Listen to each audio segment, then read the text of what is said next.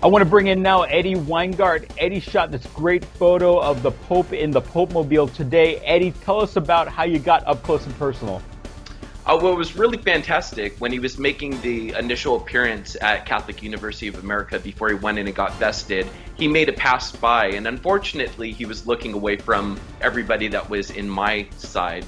And ironically enough, he went down and made a U turn and came back and got a, a, great pass by us. So we got up close and personal with him, got a wave to him. It was really fantastic.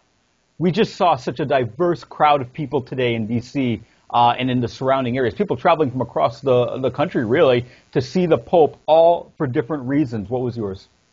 Um, for me, you know, the, the Pope has really had what a lot of people are terming uh, the, the Francis effect, and he's really had a Francis effect over my heart.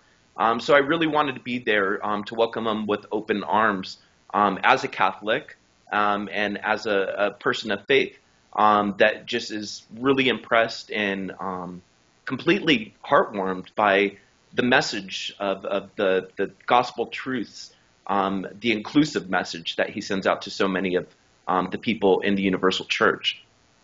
What does that mean to you? I mean, you're saying that uh, he really ushers in a different type of papacy, if you will, but to you, that has special meaning.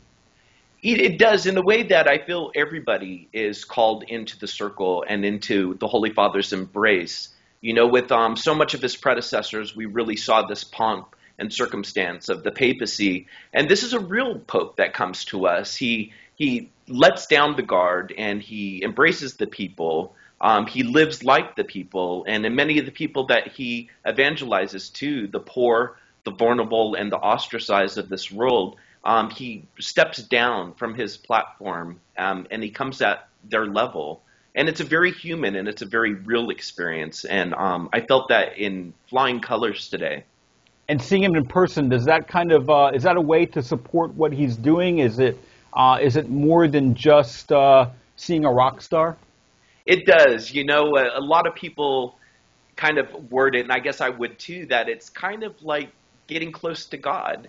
Um, you know, it's um, you, we've seen the, the, the press just really surrounding him since he was elected about three years ago, and um, to see him up close and personal where I live um, at Mary Shrine, where I go to quite often and, and worship. Um, it was just a very real experience. It was really incredible, almost without words um, that I could give to it. Um, in a sense, it uh, really felt like um, you know, I was a pilgrim, um, even though I was only journeying about five miles to to see him. I, I felt like I was almost in a way traveling um, to Rome to see him, and it was just uh, it was an incredible experience. Your photos have been shared uh, quite a bit, kind of taken on a viral nature. Kind of exciting for you. Yeah, it's definitely cool. Um, you know, I love Instagram, but it, it, it's really great to put these photos out of that very special moment for all the world to see do you think I've heard many times folks refer to this pope specifically as the pope for this generation? We've seen a lot of change across the globe towards inclusion in the Catholic Church. Still, some things that are uh, hotly debated, but uh, do you think that this pope is ushering in a new way of thinking, or at least a reformed way of thinking for the church?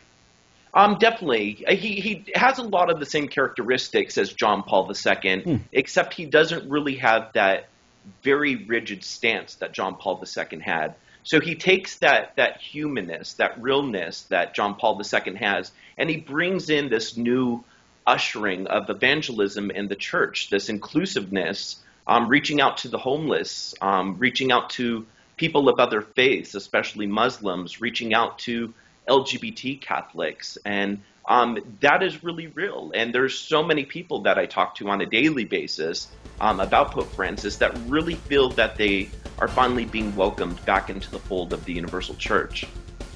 And that's what we're seeing across the board on social media, folks embracing him in a new way. Listen, I appreciate you sharing your thoughts and uh, keep taking those pictures. You're doing a good job. Uh, thank you.